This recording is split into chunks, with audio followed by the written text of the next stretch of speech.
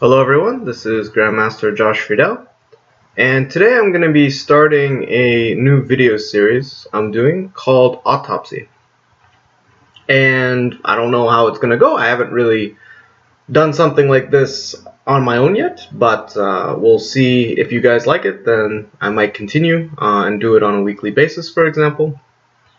And basically, with Autopsy, the intention is to go over say one game per week usually. And the difference between autopsy, I would say, and just going over a game. Usually, when you go over a game, you look over the interesting moments, try to figure out what's going on, you know, analyze the position, learn about chess. I mean, and these are all great things to do. Uh, going over one of my over games, both of my own and of other players, is one of my favorite things. But one of the ideas that I like to use, and I try to do it on my own games, is actually, I call them autopsies, but you can call them postmortems or whatever you want. But basically, not just go over the game, but really try to ascertain what is the cause of a loss, or of a draw when you should have won, or of a result. Um, so you really perform an autopsy on the game and try to figure it out. So part of it is not just figuring out where you went wrong or the most important mistakes, but what mistakes led you to lose? Oftentimes, you can play a move which maybe by itself isn't so bad, but you played it with the wrong idea, you had the wrong plan, and therefore it really caused your loss more than, say, a blunder later on when you were already under huge pressure. So I find that this is kind of a useful thing to do. And again, if, if people really like it, I can perform autopsies on your own your games. You can submit them, perhaps. Uh, I might do a few on my own so I can kind of learn where I'm giving away my points. Always useful. Uh, so I'm actually wanted to start with a game that was played recently in Norway chess, round three, between uh, world champion Magnus Carlsen is white and Levon Aronian was black. And this was a very straightforward, very impressive win. But I want to go over the game from the point of view of Aronian and essentially perform an autopsy. Like, why did I lose? Why, you know, what went wrong for me this game and how can I maybe correct that in the future? Now, it's very difficult to do, and I'm even going to flip it so that we can see it from Black's perspective. It's very difficult to do it from another perspective, especially from one who's so strong. I mean, Levon is one of the best players in the world. I'm a GM, but I'm not going to kid myself. I'm not near Levon's level. So to determine why he lost the game is a, very, a real challenge. But at the same time, I think I can try to figure out, you know, what was going on, and not just that, but what caused various mistakes. So again, because we're really trying to figure out why you, why he lost, we're not going to focus as much on various parts of the game. If something's really interesting, I might point it out. But okay, let's start from the opening. It's Ruy Lopez, or Spanish. Knight f6, the Berlin, I assume that anyone who's followed chess in the last 5, 10, 15 years have seen this opening more than you'd like. But we're going to do it anyway. Knight takes e4, rook e1. This is kind of the trend. They're not going into the endgame. They're trading into this position. Bishop back to f1. The bishop was hanging on b5. Knight takes e5, takes, castles. Rook e1, knight f5. Now here's the first real branch. C3 is a more common move here. But I would say it's a little bit less ambitious. You get a very symmetrical position where maybe white can be slightly better, but it's very difficult to actually do a lot. Carlsen, of course, as white, wants to try to win this game. So he plays d5, which is a more interesting move. It's a little bit riskier. It opens up the bishop on f6. To call it risky is a bit much, but the idea is that you're really grabbing space and making it harder for black to complete development. So black plays rook e8. It's very common to trade off these rooks early uh, in these positions. Takes, takes, queen d3, d6, knight d2. So Carlsen, I think most people played knight d2 before taking on e8 even. And Carlsen's idea is simply to get the queen out. The queen on d3 is more useful than on d1. Um, but again, we're not going to focus uh, on those moments too much, and I really want to focus on this moment because even though Levon didn't strictly speaking play an awful mistake here, I think that this is really what this move really is what you know, pushed him into a tight corner, made it so that his life became far more difficult than it had to be. And I think that this this move, almost more than any move during this game, really led him towards a loss. Even though it's not a blunder, it's not some move that gives up anything tactically, but it's I think the start of a bad approach and therefore what led to his position becoming worse and worse. So if you'd like, uh, why don't you pause your video and try to figure out what you would do as black. How would you approach this position? Not just in terms of what your move would be, but what would your ideas be? What are you trying to do? Um, so pause if you'd like. Uh, if you're feeling lazy, you can just not pause and I'll tell you. but uh, it's up to you. In any case, I think that black has uh, a, a wide range of options here, but the main problem I think is space. Black just lacks space. Um, it seems like everything's okay. You can play bishop d7, uh, which would be quite a normal move here, for example. And then white would play knight e4, for instance. Computer actually likes the move bishop d4, but to me that's not very human. Bishop e5 seems more natural to me. Uh, white plays bishop d2, so note how if you try to grab this pawn, then rook b1 and they take here, which probably would favor would favor white. And uh, so black can do all sorts of things, but notice how there's just not that much room. You can play queen f8, rook e8, but it looks awkward. You can play queen d8, but then the rook can't get out. If queen e7, then rook e1, for instance and all of a sudden you have problems along this file, you just don't have space and you don't have room. And I think that this is a big problem in this position. So if it were me, and obviously during a game, who knows if I would come up with this, but um, my approach would be to play the move c6. And the reason is very simple. I want space, and I'm okay with worsening my structure in order to get it. I think that if you just try to play slowly, you're not going to be able to repair your position fully. You're always going to be up against it. Whereas I'm willing to risk having a worse pawn structure in order to give me some play, give me some counterplay, give me some ideas. So knight e4 seemed like the most natural move to me. If white takes and plays c3, for instance, you can play d5, and note how you have more room now. You can play knight d6, bishop f5, for instance. You can get your guys out. And that's sort of the most important thing. So knight e4 would be the more annoying choice. So probably the bishop would head to e5. Notice how f4 is always going to be a bad move due to bishop d4 check. The d-pawn hangs. The king is actually a little loose now. Uh, this would be quite a welcome uh, sight. c4 uh, would be the logical choice, trying to maintain this pawn, but now black can play very simply. You can take, Queen takes d5, runs into bishop d7 to c6. The bishop gets out. Notice how all of black's pieces are very active here. Uh, unlike what we'll see later in the game. c takes d5, bishop d7, bishop d2, and now there's a wide range. Um, you could play a move like a6. Rook c8 looks nice, but you're not really doing much on the file. My choice would probably be queen d8. So my idea is very simple. I want to play queen out to b6, where it's nice and active, and play rook e8. Notice how all my pieces are participating. Everything's fairly active. White doesn't have too much they can do. I'd say black's just about equal here. Maybe white would still try. I'm sure Carlsen wouldn't just give up here and say, you're too good for me, man. I offer a draw. But I, I would say the odds of winning this game are a lot lower. Levon played a very understandable positional move. But I think that it's truly the wrong approach here. So he was thinking rather than play c6, and I don't know why he didn't do it. Maybe he didn't think of the idea. It could just be that he didn't want to weaken his structure. He wanted to keep his structure nice, because right now black has no weaknesses at all. And he wanted to keep it that way.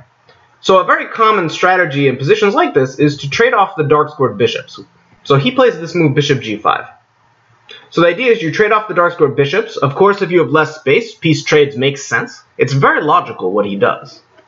But I think that it's just not the right choice for this position. Because after Carlsen plays knight f3, takes, takes, let's see what happened. It seems like, okay, you've traded off the dark squared bishops, one fewer piece to worry about. But development-wise, I really do not like it. Because white improved the knight. This knight's not doing a whole lot, but eventually it might come to d4. Um, even later, it can become more aggressive, as we'll see. But now the rook's ready to come to e1, which means that white will have the file. And the problem black has is that you've just lost too much time because you basically traded off a piece that never moved. Um, so you don't even have like the bishop hitting b2, which can sometimes restrict the bishop on c1. You don't have a lot of different things, um, and this is just really annoying. So at the moment, it seems like just from a very logical, you know, trade, black is already in trouble. So I would say that this move, bishop g5, while not objectively the worst move the, on the planet, just wasn't really the right choice for this position. And now, for example, if you try a move like c6, you're too far behind in development, and bad things can happen. For example, after rook e1. So here, queen f8 might be the best move, but this is horribly passive, and it's not easy to make a move like this. But to be honest, I still don't like black's position. But for example, if you try queen d8, trying to you know play bishop d7 and get the queen out, say, to f6, white can simply play d takes, b takes, and then g4. And this is a very strong move because the knight just doesn't have a good square. If you play knight h6, h3, this piece on h6 is just horribly, horribly passive. Uh, so you could want to go back to the knight e7, but now white has the very strong move, queen e4. You hit the knight. This pawn is hanging, so king f8 is not exactly ideal. If you move the knight, then queen comes to e8. And for example, if you try to do this, okay, takes on c6 is maybe not so clear because I can take this guy.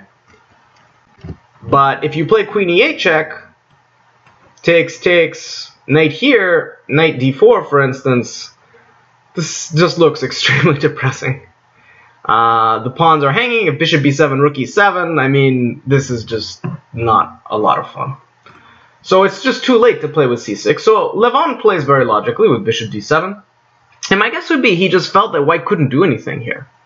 Black has no weaknesses. Once again, you've traded off lots of the pieces. Like, what could be the danger? But the problem is that white, black can never fully activate. Black can never really get stuff out. And it haunts him essentially the rest of the game. So rook e1, queen d8. So queen f8 would be desirable, but the problem is that white can always play queen c4, and the c pawn just has no good way to defend it. Like, there's just no good way to defend the c pawn. You could play rook c8, but of course that's horribly depressing. c6, as we know, is quite weakening now, and I don't think really solves the problems.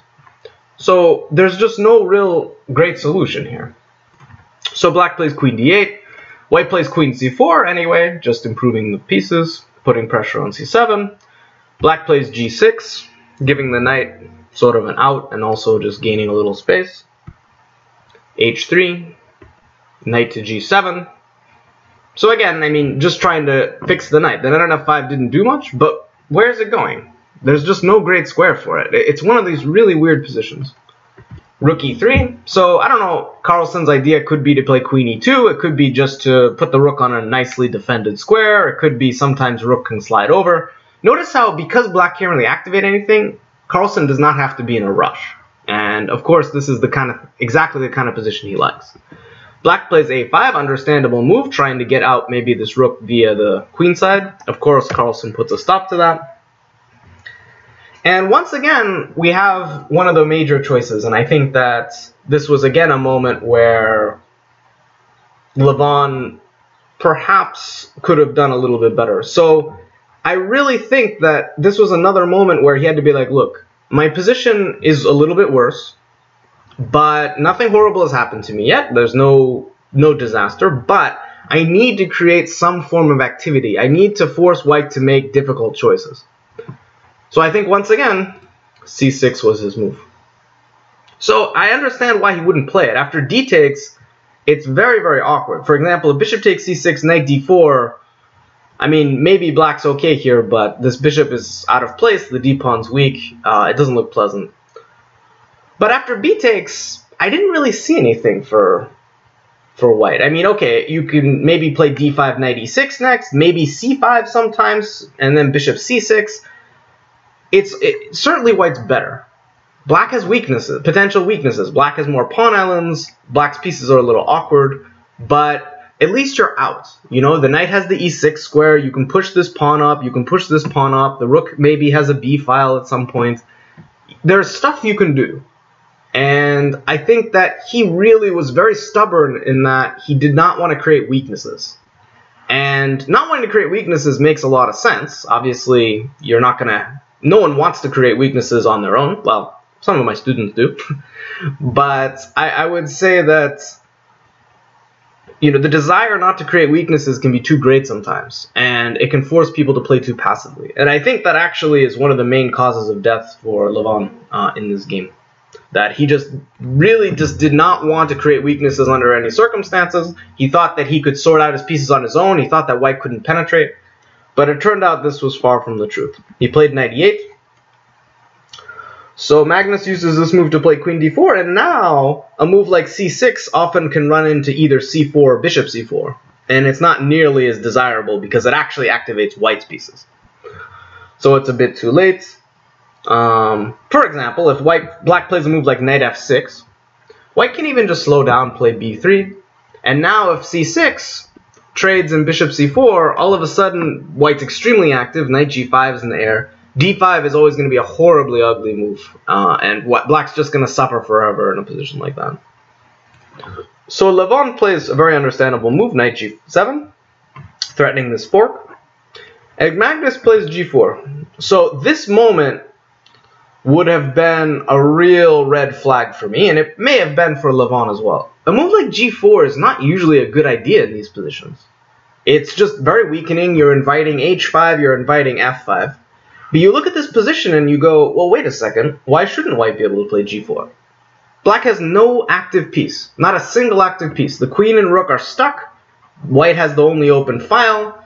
There's no piece that's ever going to get at black's king or take advantage of these weaknesses. White can play, black can play h5, but you're going to end up opening your own king just as much as your opponent's.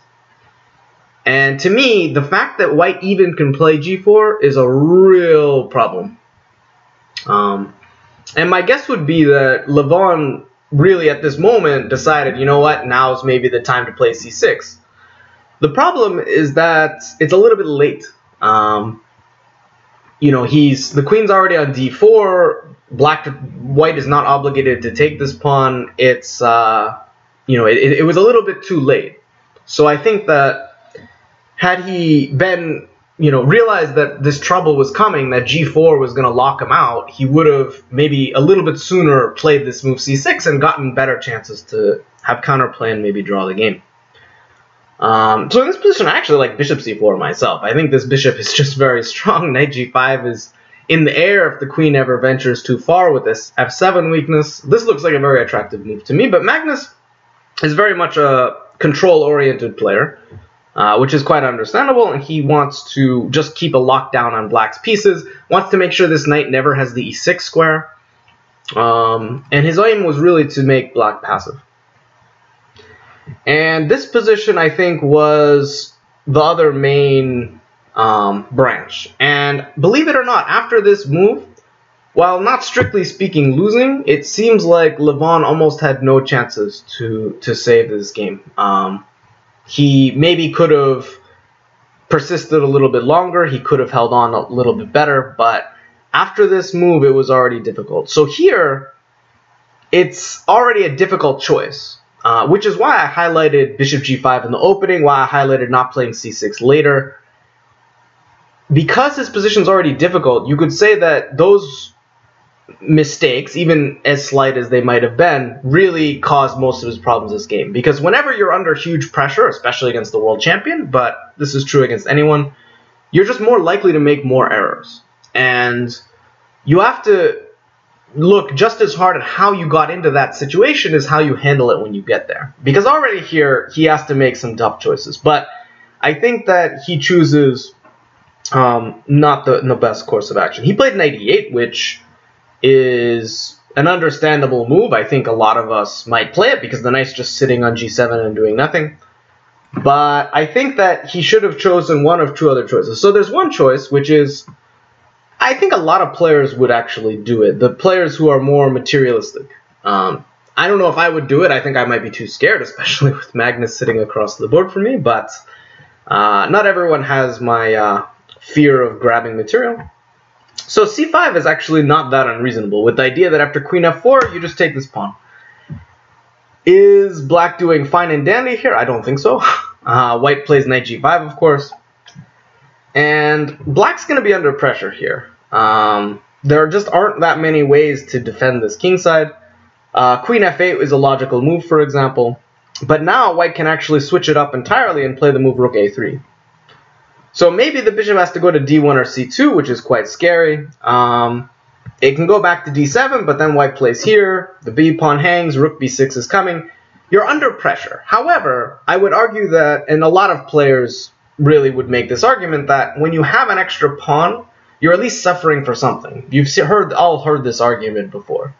Um, at least when you have an extra pawn, you can afford to give your opponent a bit of an initiative, because at least you have a light at the end of the tunnel. If you survive, you have that extra pawn, it means you can sack it back later.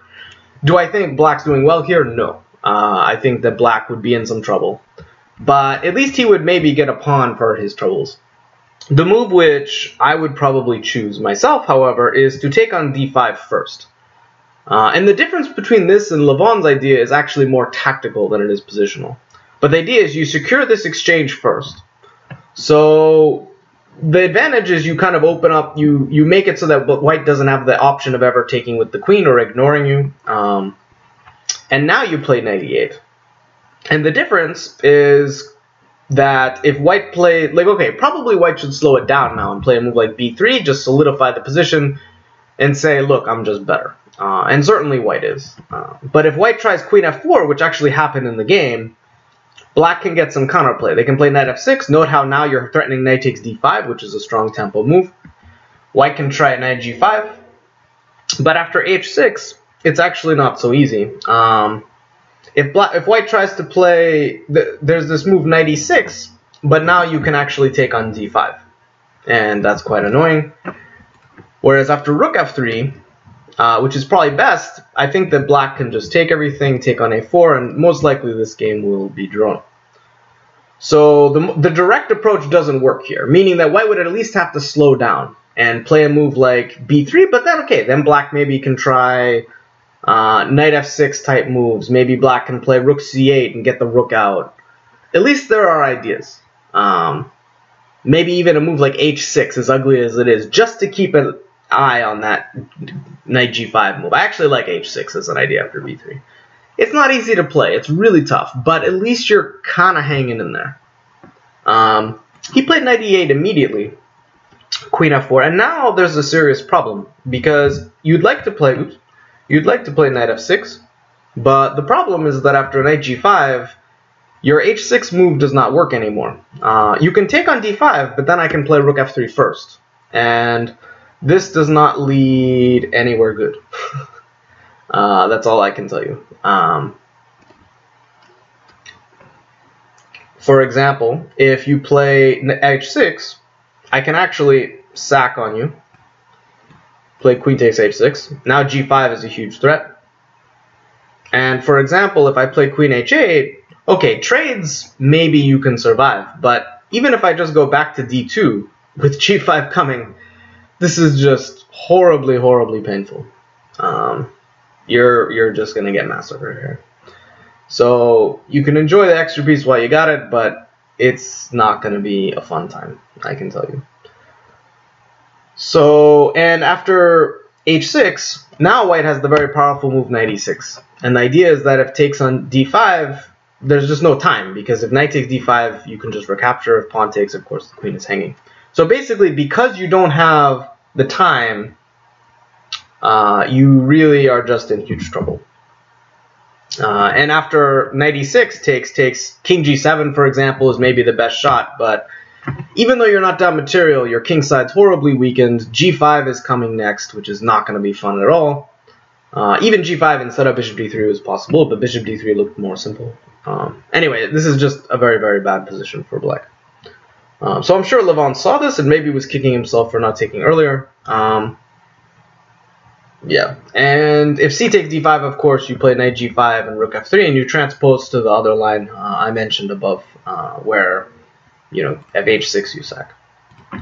So Levon played king g7, which is understandable, and now Carlsen actually switches gears. He doesn't necessarily have to, but it's kind of a nice way to do it. He plays rook b3, hitting this b pawn, if you allow rook takes b7, your position is just in ruins, so he plays rook b8, knight g5, and...